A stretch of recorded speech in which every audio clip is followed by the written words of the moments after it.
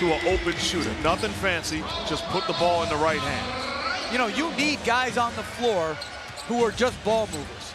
And that's what Carlos Arroyo has done as Bosh does a great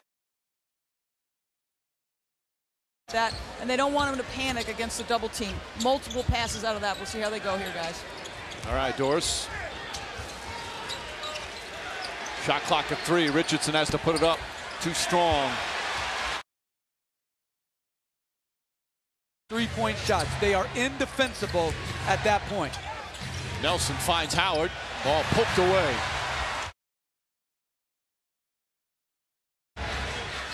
So they've opened up this third period with a 10-0 run. James gets a piece of it. He has been so disruptive defensively away from the ball to start this half.